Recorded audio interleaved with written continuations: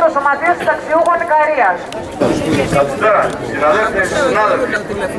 Η συγκυβέρνηση ΣΥΡΙΖΑ ΑΝΕΛ κλιμακώνει την επίθεση από καινού με τα κοράκια τους δανειστές, ισοπεδώνοντας την ασφάλιση και ό,τι έχει απομείνει από δικαιώματα, ρίχνοντάς μας ακόμα παραπέρα στην εξαθλίωση, δοκιμάζοντας τις αντοχές και ανοχές μας. Η υποχρηματοδότηση, η υποστελέχωση των υγειονομικών και προνοιακών μονάδων συνεχίζεται. Οι κοινές κενές οργανικές θέσεις προσωπικού είναι πάνω από 30.000. 220 κρεβάτια κλειστά σε μονάδες εντατικής θεραπείας. Χωρίς φυσικά να εξαιρείται και το νοσοκομείο του νησιού μας. Όπου ενώ αποχώρησαν 25 εργαζόμενοι, προσλήφθηκαν μόνο 7. Η συγκυβέρνηση στα πλαίσια πολιτικής απαξίωσης των μονάδων υγείας στο νησί μας επιχείρησε, επιχείρησε και η άλλη μια φορά και την εύκολη λύση της μετακίνησης των γιατρών για να παλώσει το πρόβλημα στις μονάδες υγείας χωρίς να προσληφθούν γιατροί και νοσηλευτικό προσωπικό σύμφωνα τουλάχιστον με το οργανόγραμμα της κάθε μονάδας. Οι τοπικές κοινωνίες αντιδρώντας δυναμικά και μαζικά με καταλήψεις, μακανίτες και ράχες δεν επέτρεψαν τις μετακινήσεις των γιατρών και το κλείσιμο των περιφερειακών ιατρίων. Με απόλυτη συνέπεια προς τα μονοπόλια η κυβέρνηση συνεχίζει τη βάρβαρη επίθεση στα λαϊκά νοικοκυριά και το σημαντικό αγαθό της υγείας. Από δικαίωμα τίνει να γίνει εφιάτης παραδομένος στους ιδιώτες με ψηλά κοστολογημένες παροχές. Στα πλαίσια αυτά της κοινωνικής δικαιοσύνης εντός παρεμφλέσεως ήταν και η βάρβαρη επίθεση που δέχτηκαν οι συνταξιούχοι συνάδελφοι με χημικά στις 3 του Οκτώβρη στη μαζική συγκέντρωση στο Μέγαρο Μαξίμου. Δεν μας τρομάζουν, δεν μας σταματούν. Είμαστε αποφασισμένοι να συνεχίσουμε τον αγώνα μας. Οι ανάγκες μας δεν καλύπτονται με ψίχουλα, χωρίς κοινωνική ασφάλιση, χωρίς ουσιαστικά δικαιώματα στη ζωή. Διεκδικούμε τη ζωή που μας αξίζει.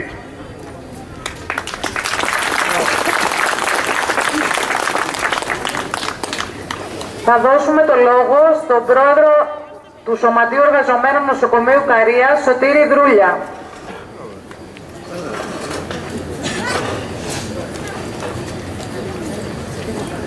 Ε, καλησπέρα.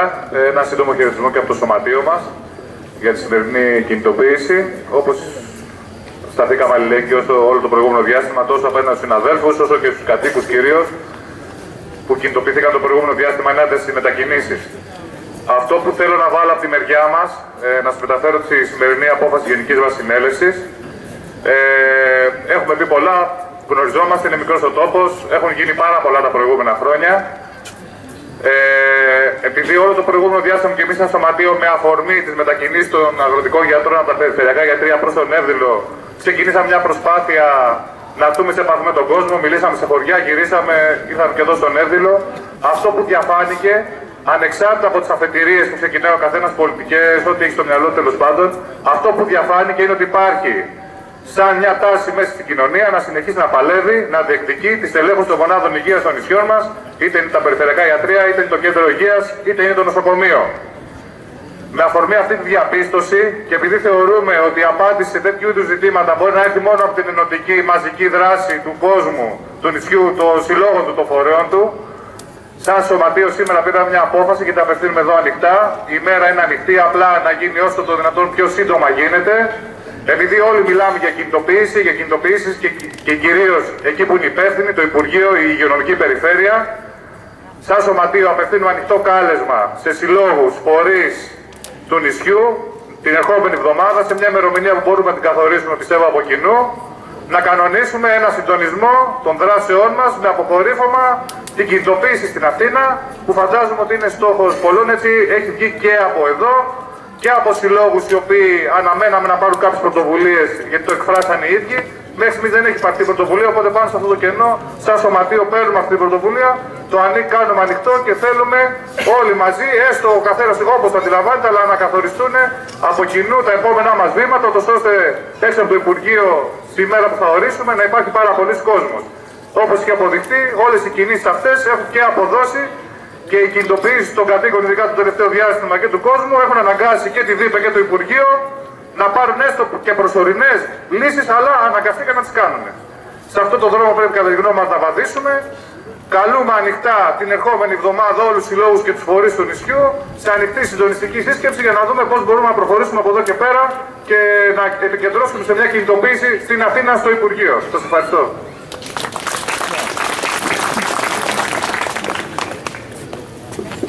Να πούμε ότι στο χώρο σήμερα παρευρίσκονται και χαιρετίζουν ο Σύλλογος Αυτοπασχολούμενων ε, Βιοτεχνών Επαγγελματιών και Πόρων Ικαρίας, ο Σύλλογος Ένωσης Δημοκρατικών Γυναικών Ικαρίας, ο Σύλλογος Εργαζομένων Δήμων Ικαρίας και Φούρνων, η Ένωση Τεχνικών ΔΕΗ Παράρτημα Σάμου Ικαρίας, το Σωματείο Επιστημισμού Ξενοδοχοπαλλήλων Ικαρίας.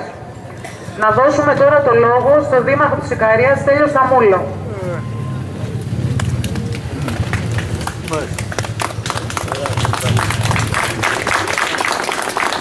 Καλησπέρα σε όλους. Δεν είμαι ομιλητής, θα ένα πολύ σύντομο χαιρετισμό. Να πω ότι η Δημοτική Αρχή στον πρόσφατο αγώνα που εκδηλώθηκε από τους κατοίκους των Ρακό και του Μαγκανίτη αβίαστα συμπαρατάχθηκε, συμπαραστάθηκε και ήταν στο πλευρό των ε, συνδημοτών μας που διεκδικούσαν το αυτονόητο.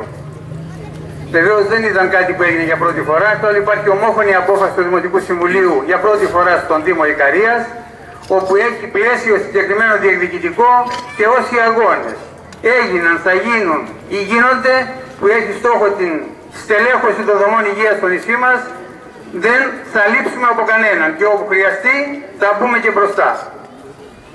Θα ήθελα όμως μια και σε αυτή την πλατεία έχουμε καιρό να μιλήσουμε και ακούγονται και λέγονται πολλά, δεν θα κάνω κοστοπολιό, αλλά νομίζω ένα σχολιασμό δικαιούμαι να κάνω. Καταρχήν αυτός ο αγώνας, πέρα από το ότι έγινε προσπάθεια να υπονομευθεί, είχε αποτελέσματα και αυτό θα πρέπει να μην μας διαφύγει. Πρόσφερα, ε, πώς το λένε, δεν είναι αποτελέσματα που έλυσαν το πρόβλημα, αλλά που όμως αναγκάστηκαν να καλύψουν αυτό το κενό. Και αν μη τι άλλο, αποδεικνύει ότι οι αγώνες πάντα έχουν αποτέλεσμα και σκεφτείτε αν αυτός ο αγώνας που ξεκίνησε από τα δύο χωριά που είχαν το απόλυτο δικαίωμα να έχουν το ελάχιστο ένα αγροτικό γιατρό ήταν ομόθυμος και ομόφωνος από το νησί. Θα δεν υπήρχαν τα ζυζάνια που κάθε φορά υπάρχουν, οι καλοθελητές ή όπως θέλουμε να πούμε, να μιλούν ότι όσοι αγωνίστηκαν, και αυτό είναι γραμμένο, ότι εν πάση λίγο πολύ ήταν και τρομοκράτες. Ιδιαίτερα οι νέοι του νησιού μας που διαβάζουν τα site και τα όσα γράφονται νομίζω δεν χρειάζεται να πω παραπάνω εγώ. Αλλά είναι λέξεις που μάλλον δεν προσφέρουν καλές υπηρεσίες στο νησί και όσα άλλοι μιλούν για το κλείσιμο του κέντρου υγείας. Και ρωτώ, εάν κάποιος από εμάς ξέρει ότι υπάρχουν κάποιοι στην Ικαρία ή κάποιος ή κάποιες που θέλουν να κλείσει το κέντρο υγείας δεν έχουμε παρά να τους βγάλουμε με το όνομά τους στις πλατείες του νησιού. Σε άλλη περίπτωση όσοι λένε τέτοια πράγματα, μάλλον άλλα πράγματα έχουν στο μυαλό τους. Γιατί για να ξεκινήσεις να κάνεις κάτι ή να λες κάτι ή να μαζεύεις υπογραφές για κάτι, πρέπει να φτιάξεις και τον αντίπαλο, εάν δεν υπάρχει.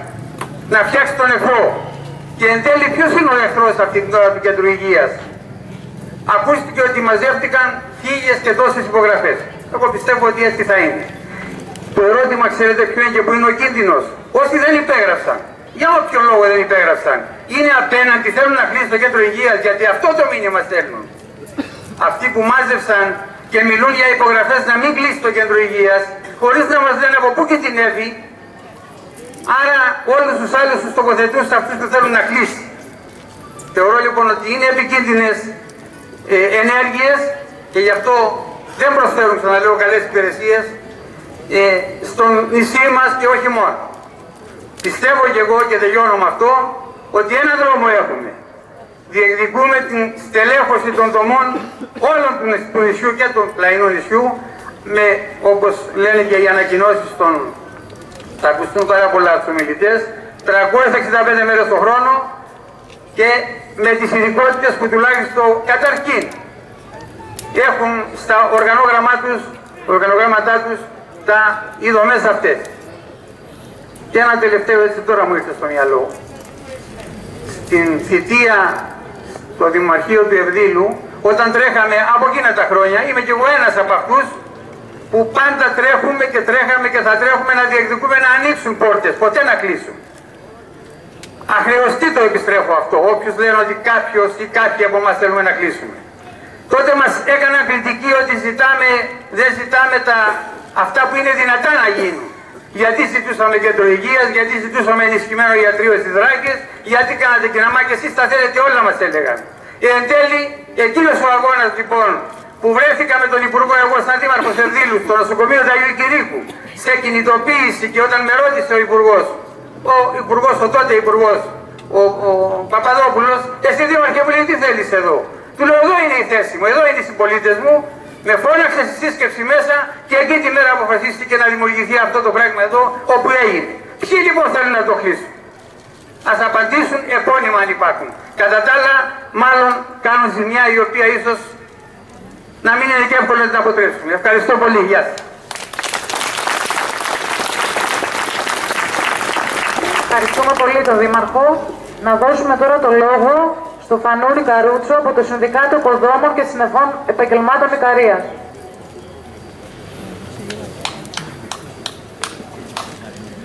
Αγαπητές συμπατριώτες και συμπατριώτες, συναδέλφοι και συνάδελφοι εργαζόμενοι, νέες και νέοι, για μια ακόμη φορά βρισκόμαστε στους δρόμους για να διεκδικήσουμε το πανάκριβο κοινωνικό αγαθό της υγείας.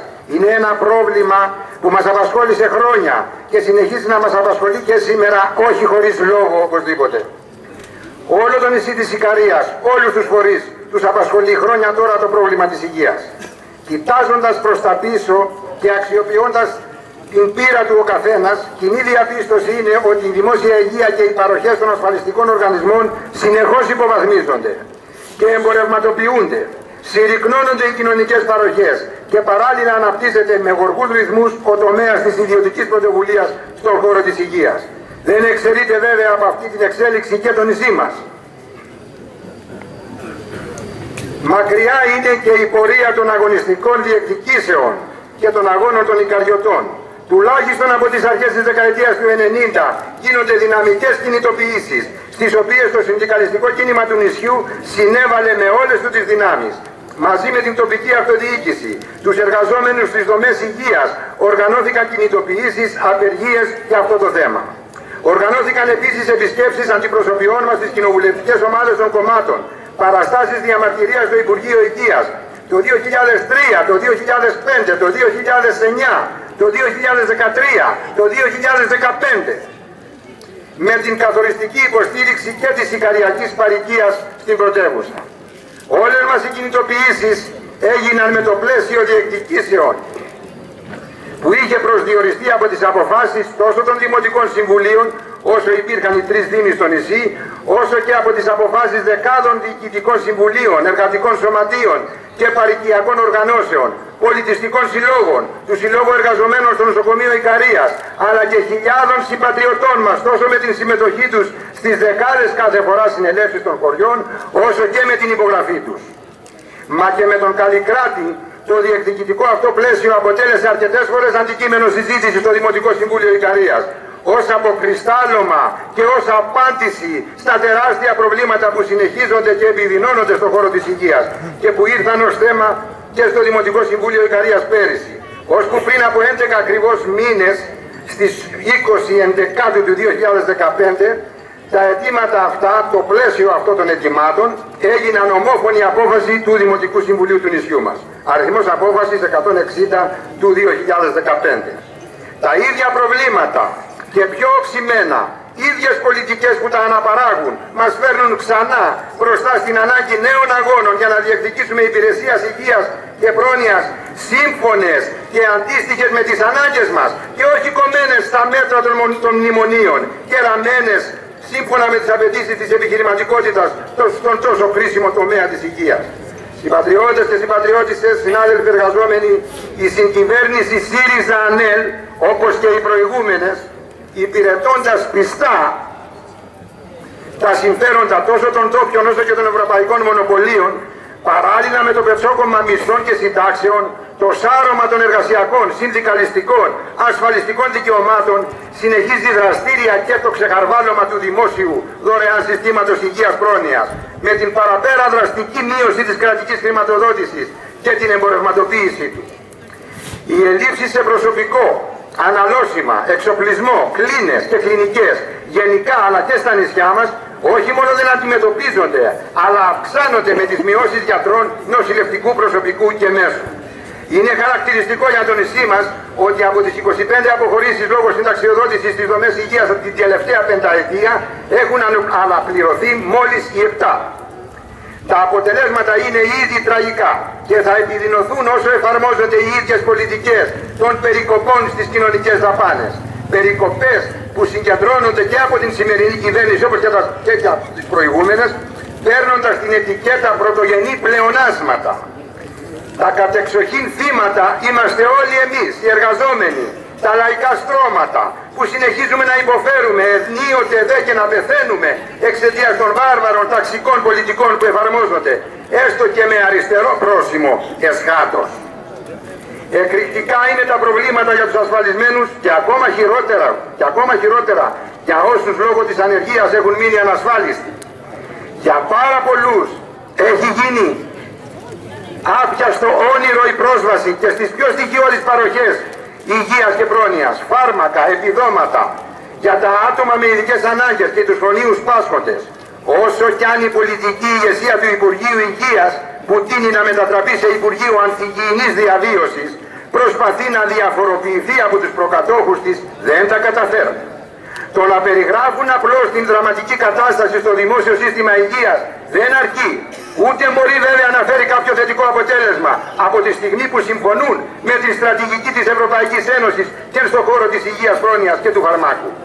Τη συμφωνία τους αυτή φρόντισε νωρίς νωρίς να την ξεκαθαρίσει ο ίδιος ο Πρωθυπουργός Αλέξης Τσίπρας από τον Μάρτιο ήδη του 2015 όπου ανερώντας όλες τις προεκλογικές του υποσχέσεις στον χώρο της υγείας ενταφίασε ουσιαστικά την δωρεάν δημόσια υγεία. Με καθαρότητα υποστήριξε τους τόπιους φαρμακοβιομήχανους. Το μόνο δωρεάν εντός εισαγωγικών με την κατάργηση του 5 ευρώ που με τρόπο ανάπηρο άλλωστε εφαρμόζεται είναι η είσοδος στις δημόσιες μονάδες υγείας. Η έξοδος όμως από αυτές γίνεται με βαριές πληρωμές από τους ασθενείς για μια σειρά εξετάσεων που δεν αποζημιώνονται από τα ασφαλιστικά ταμεία.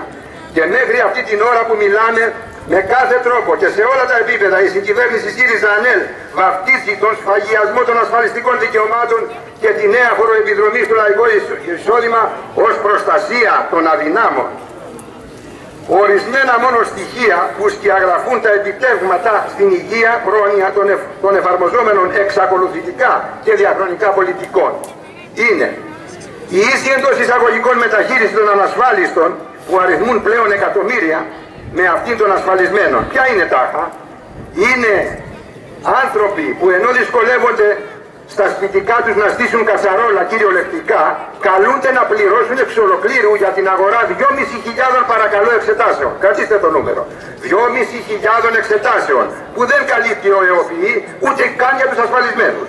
Σημαίνει να πληρώσουν συμμετοχή στην αγορά φαρμάκων συν ένα ευρώ χαράτσι για κάθε συνταγή. Σημαίνει ότι ένα μεγάλο μέρος από αυτούς που τους αφαιρέθηκαν τα ασφαλιστικά τους δικαιώματα λόγω ανεργίας, λόγω χρεοκοπίας των μικροεπιχειρήσεών τους, λόγω αδυναμίας καταβολής των ολοένα διοκούμενων ασφαλίστρων, όπως και ασφαλισμένοι στον ΟΓΑ, θα οδηγηθούν αναγκαστικά να διακόψουν τη θεραπεία τους. Ή θα συνεχίσουν στην καλύτερη περίπτωση με τις υποτυπώδεις υπηρεσίες των κοινωνικών ιατρίων και φαρμακείων. Μόνη εξαίρεση συμμετοχής στην φαρμακευτική δαπάνη αφορά τους πλέον εξαθλειωμένους με, με ατομικό εισόδημα 200 ευρώ τον μήνα. Αλλά και αυτό συνδυαστικά με τα τυχόν περιουσιακά του στοιχεία και την οικογενειακή τους κατάσταση. Ανάλογα είναι και τα κριτήρια που εφαρμόζονται για τους ανάπηρους με ποσοστό αναπηρίας πάνω από 67% ή και κάποιες κατηγορίες χρονίων, χρονίως πασχόντων. Τι γίνεται με τις προσλήψεις, πλευρά από τις πιο κρίσιμες στο μέγα θέμα της υγείας, για την Ικαρία δώσαμε ένα, ένα, μια εικόνα. Από τα πιο πρόσφατα στοιχεία, μετά τις δηλώσεις του Πρωθυπουργού στην Διεθνή Έκθεση Θεσσαλονίκης, που παρέθεσε η Πανελλήνια Ομοσπονδία Εργαζομένων στα Δημόσια Νοσοκομεία, το ΕΔΗΝ, βλέπουμε οι κενές οργανικές θέσεις ιατρικού, νοσηλευτικού, παραϊατρικού και βοηθητικού προσωπικού ανέρχονται σε 40.000 παρακαλώ. Άνθρωποι πεθαίνουν αβοήθητοι εξαιτίας των τεράστιων αυτών ελλείψεων που η κυβέρνηση προσπαθεί με παλώματα της κακιάς ώρας να αντιμετωπίσει. Σαν και εμάς καλή ώρα με τα παλώματα προς το κέντρο υγείας. Το προσχέδιο του προϋπολογισμού που κατέθεσε η κυβέρνηση στην Βουλή ακολουθά πιστά, ακολουθεί πιστά συγγνώμη, τις υποδείξεις του τρίτου αριστερού θα προσθέσουμε εμείς, μέσα σε παρένθεση, μνημονίου. Νόμος 4336 του 2015. Οι προσλήψεις ακολουθούν το μνημονιακό κανόνα.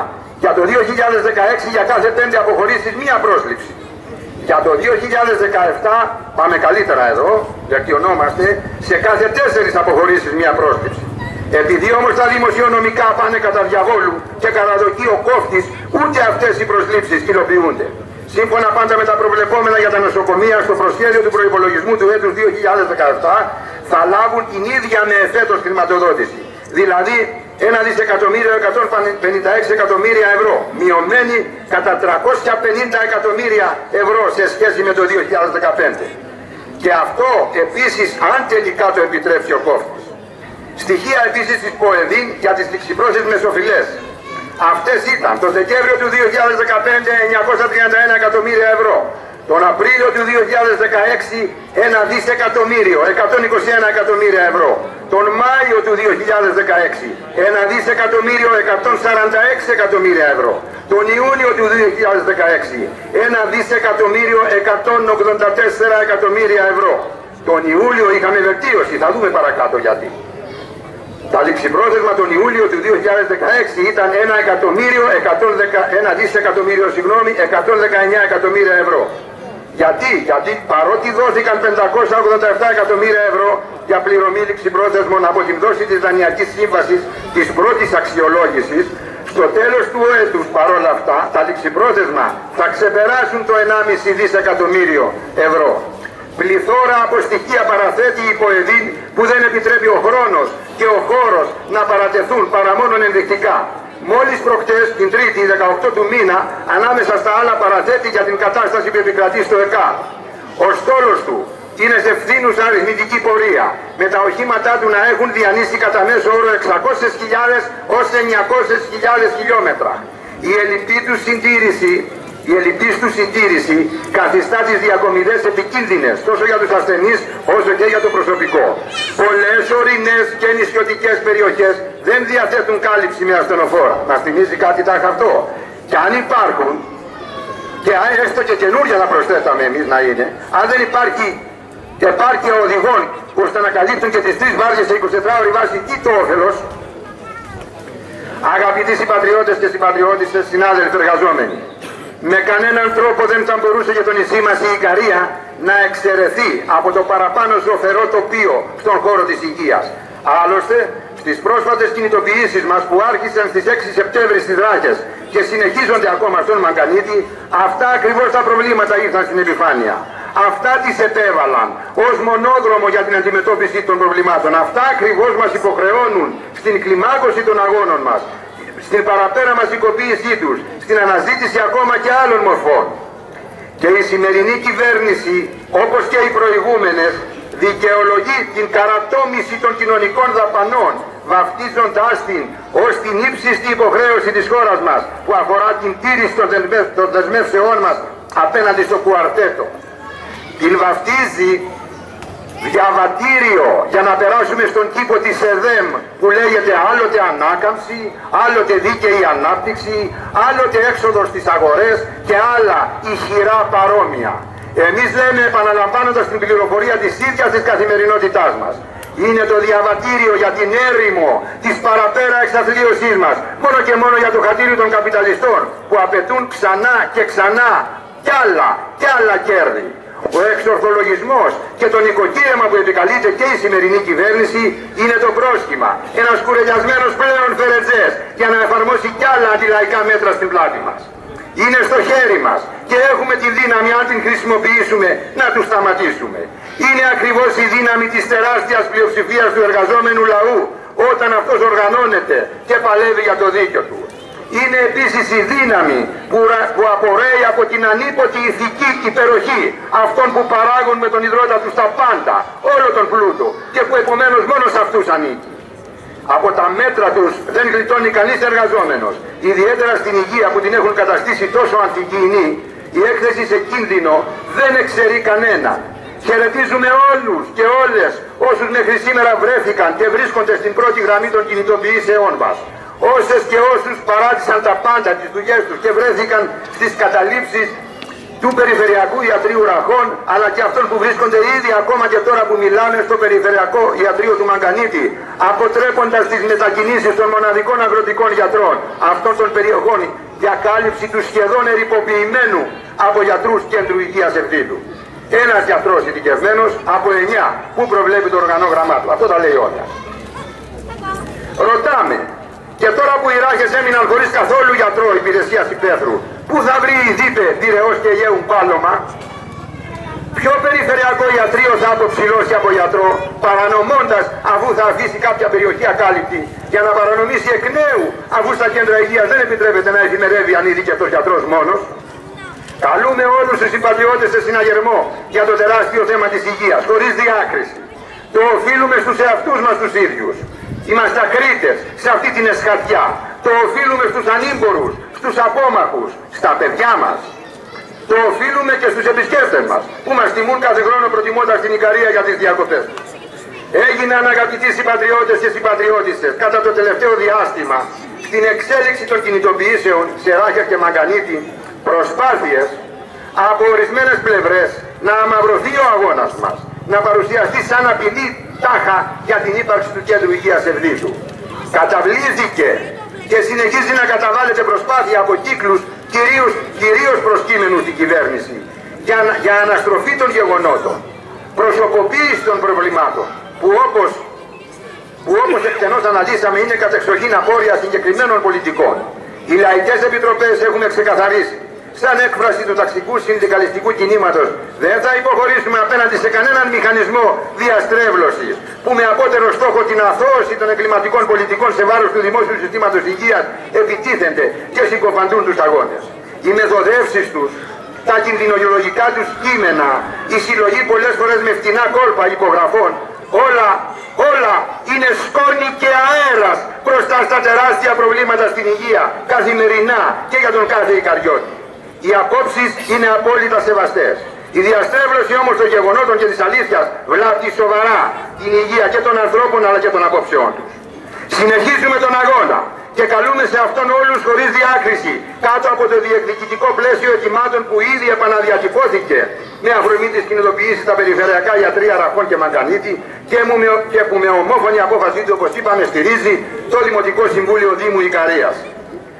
Το καινούριο μας ραντεβού είναι στην Αθήνα, συσπηρωμένοι όλοι οι καριώτες, αγωνιστικά, μπροστά στο Υπουργείο Υγείας, στις 18 Νοέμβρη, ημέρα Παρασκευή. Αυτή την, την μέρα έχουμε επιλέξει και ημερομηνία και θα παλέψουμε να υλοποιηθεί ε, συν, ε, πώς το λένε, συνεννοούμενοι με τις παρικιακές οργανώσεις και όλους τους φορείς, και εδώ και στην Αθήνα. Θα καταβάλουμε κάθε προσπάθεια για την ενεργοποίηση όλων των παρικιακών οργανώσεων, την κινητοποίηση κάθε Ικαριώτη και Ικαριώτισσας, και εδώ και στην Αθήνα, ώστε να ακουστεί καθαρά, βροντερά η φωνή μας. Η φωνή του δίκαιου, της λογικής, της τιμής. Δεν θα παίξουμε για κανέναν ρόλο, για κανέναν λόγο, συγγνώμη, τον ρόλο του προσφαγή αγόμενου αμνού. Καλούμε τις νέες και τους νέους του νησιού μας να σταθούν στην πρώτη γραμμή. Αγωνιζόμαστε και διεκδικούμε, το πλαίσιο θα το παρουσιάσει η συναγωνίστρια εδώ, η Ιολάντα, που θα είναι και το ψήφισμα, θα αποτελέσει την πρόταση ψηφίσματος της απόψινής μας συγκέντρωσης. Σας ευχαριστώ.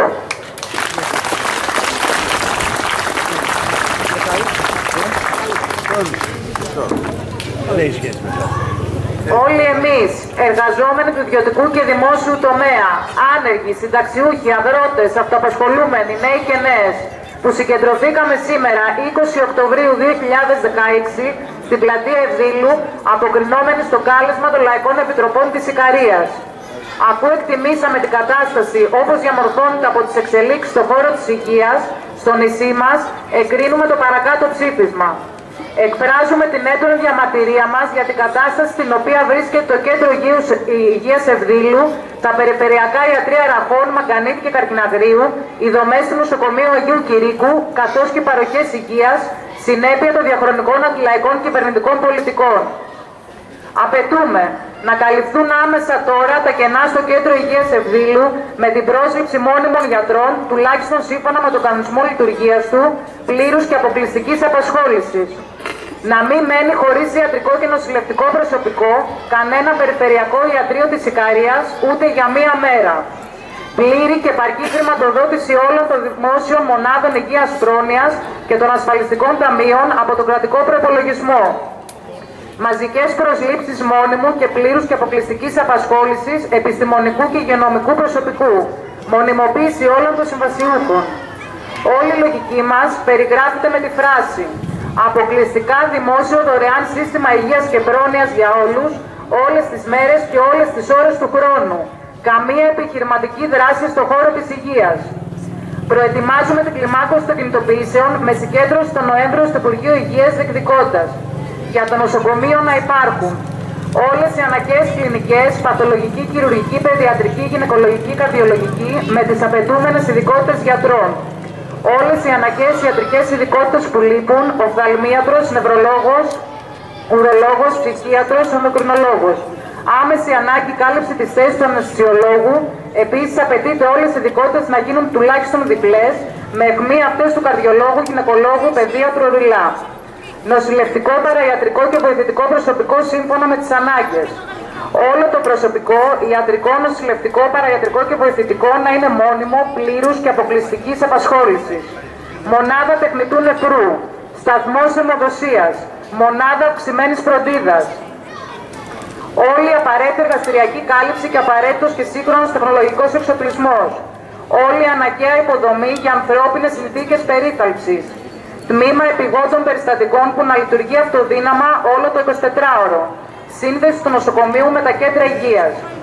Για τα κέντρα υγείας. Ένα κέντρο υγείας σε κάθε δημοτική ενότητα της επαρχίας μας που να καλύπτει πλήρως την πρωτοβάθμια φροντίδα υγείας. Δηλαδή αναβάθμιση του Περιφερειακού Ιατρίου στις Ράκες σε κέντρο υγείας, βελτίωση του εξοπλισμού, πλήρης στελέχωση του κέντρου υγείας στον Εύδηλο. Ειδικά για τις ράχες, άμεση πρόσληψη γενικού παθολόγου και νοσηλευτικού προσωπικού στο Περιφερειακό Ιατρείο. Σύνδεση των κέντρων υγείας με τους χώρους κατοικίας, εργασίας, εκπαίδευσης, άθλησης και ψυχαγωγίας. Γιατροί εργασίας, σχολεία, τριαθλίατροι. Οικογενειακοί γιατροί και παιδίατροι πλήρους και αποκλειστικής απασχόλησης στο κέντρο υγείας που θα παρακολουθούν όλα τα μέλη της οικογένειας. Υπηρεσίες πρόληψης, υγιεινής και ασφάλειας επιδημιολογικές μελέτες, καθώς και μελέτες για την οσηρότητα που οφείλονται σε τοπικούς νοσογόνους παράγοντες. Ειδικευόμενοι γιατροί για όσους ασθενείς κάνουν χρήση των ιαματικών λουτρών. Περιφερειακά ιατρία παραρτήματα των κέντρων υγείας πλήρως τελεχωμένα σύμφωνα με τις ανάγκες. Ιδιαίτερα στο αγροτικό ιατρείο Καρκιναγρίου και λόγω κατάστασης του οδικού δικτύου και μεγάλης απόστασης από τα κέντρα υγείας να υπάρχει και ειδικευμένος γιατρός, νοσηλεύτρια και να σταθμεύεται ασθενοφόρο για το ΕΚΑΒ. Να ολοκληρωθεί η ανάπτυξη του δημόσιου συστήματος επίγουσας βοήθειας, έτσι που να καλύπτει κάθε επίγον περιστατικό. Πρόνοια. Να οργανωθεί ιδιαίτερη φροντίδα με υγειονομικές και κοινωνικές υπηρεσίες για τα άτομα με ειδικές ανάγκες και τις οικογένειές τους, τους ηλικιωμένους, τους χρόνια πάσχοντες και τους νευροπαθείς.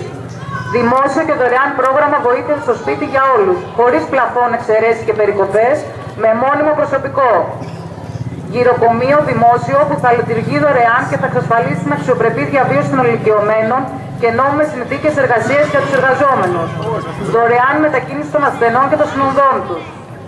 Πρόληψη. Ουσιαστικά μέτρα προστασίας της δημόσιας υγείας που να συνδέονται με όλες τις βαθμίδες του δημόσιου συστήματος υγείας και να παρέχονται δωρεάν. Να τοποθετηθούν άμεσα γιατροί σε όλα τα πλοία με ευθύνη του κράτους. Συστηματικοί εμβολιασμοί με ευθύνη του κράτους για όλα τα παιδιά προληπτικές γυναικολογικές εξετάσεις για όλες τις γυναίκες, επαναφορά για όλες τις γυναίκες αναξαιρέτως του επιδόματος τοκετού. Εξισιοδοτούμε τις διοικήσεις των οργανώσεων που συμμετέχουν στις λαϊκές επιτροπές να επιδώσουν το παραπάνω ψήφισμα σε κάθε αρμόδιο. Εγκρίνεται. Εγκρίνεται. Ευχαριστούμε πολύ.